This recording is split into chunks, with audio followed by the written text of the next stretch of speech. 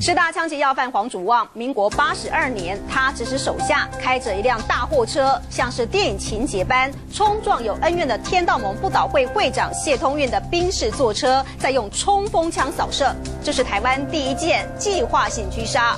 后来黄祖旺又记录了彰化方院农会选举，只因为支持对象不同，硬把对方的支持者抓到了山上去活埋，手段相当的凶残，道上称黄祖旺是鬼见愁。电影情节，砰一声巨响，卡车从远处加速冲了过来，从脆弱的侧面撞击，角度早就算好，这台宾士车一路被推进了路旁水沟，动弹不得。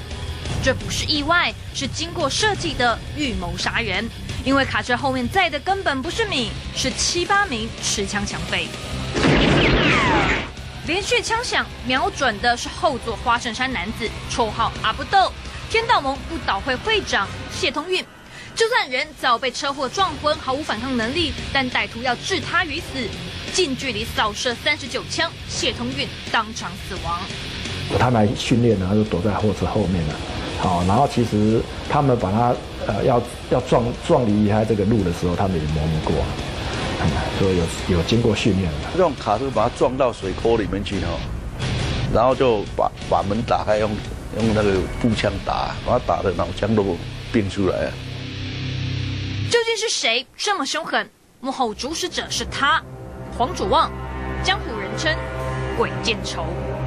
台湾第一件的用那种有计划性的把把一个这个对手，哦，就枪杀在这个田埂间，那种那种是有计划的。像那种电情节的那种狙杀，什么原因引发这场杀机？为的是一次敬酒纠纷。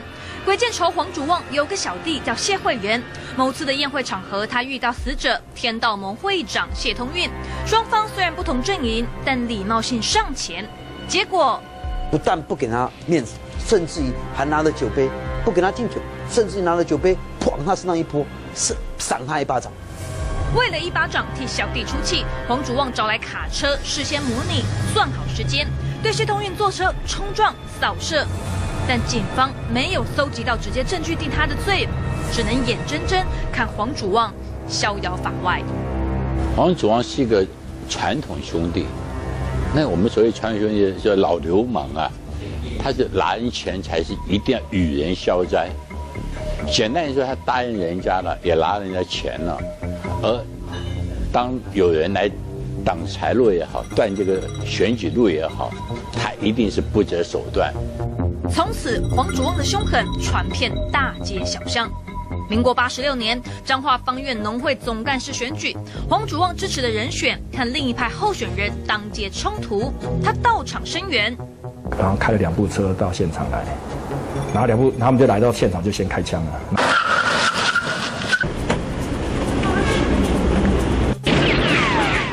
枪声人群四散，黄祖旺却没有因此罢休，他追上前，当众掳走竞选对手的外甥。狙杀这个阿不豆，这个谢通运这个案子嘛，所以他那时候已经是背负了身上背负了人命了，他根本没有不在乎说可能会多一条人命，所以他才公然的敢在跑那个街上开枪，然后掳走那个对方的那个支持者。视人命如草芥，黄祖旺把没有恩怨的被害人押到一处废弃的肥料工厂。他人把他带那边以后就毒打他，第二天他们就把他早上他就把他带到山上去，带到山上去，然后用羊绳，好勒毙啊，然后眼睛还用那个胶带捆绑。被害人被凌虐奄奄一息，黄祖旺还不罢手。他已经被勒昏了以后，还用用用。哦，两样这样抓着，抓着那个裤带这样子拖拖在拖着，就像拖着那个人这样拖到那个，不是在地方勒夫就直接埋，而是还要拖了一个段。对，所以他手段是真的是冷血，冷血的把人埋进土堆，家属找不到人，到彰化县政府陈情。案发后七十二天，黄祖旺其中一名同伙落网，才供出被害人早就死了。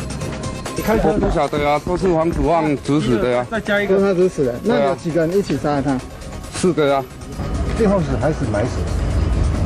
埋埋的时候还没死。埋埋埋了，现在最后五个进来了。热的时候还没死。这就活埋了。活埋就对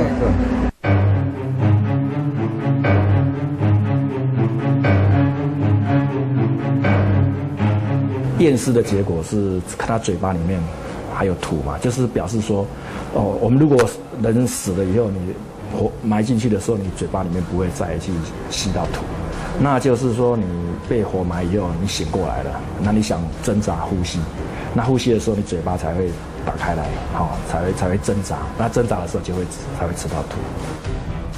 把被害人凌虐后活埋，冷血的黄祖旺竟然若无其事地躲在中国小姐女友的租屋处。警方攻坚时候，他还笑得出来。可以創條 hockey 啊！啊。戴着粗框眼镜，眼神里还是杀气。黄祖旺逃亡期间，担心被认出来，刻意把卷发理成三分头，留胡子，戴眼镜，想着过了这风头，他要再回到江湖。随身带着两把枪和一件防弹背心，好像这样才有安全感。我咧嘛，一一部肯定分享到啥，一点一点計計咁辛苦嘅。落网时还调侃警方，虽然没有读过什么书，是个文盲，但黄祖旺口才很好，女友还是中国小姐第五名的许淑珍。他大字不认识写，写个我要杀你，他也看不懂。但是在江湖道上，其实他是以高爬七浪，很会交女朋友出名，口若悬河。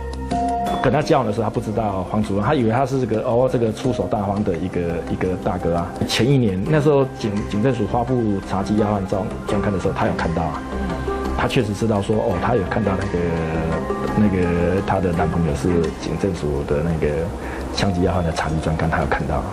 对啊，可是他说他也很无奈，没办法，那时候已经跟他在。